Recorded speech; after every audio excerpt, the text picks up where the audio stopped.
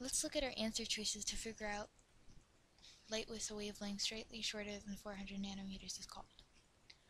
So first let's look at ultraviolet light. That is definitely slightly shorter than 400 nanometers since it comes before the visible spectrum. Then you have visible light. Visible light changes from 400 to 750, so that can't be the answer. Infrared has a longer wavelength than visible light. So A, or ultraviolet light, has to be the correct answer.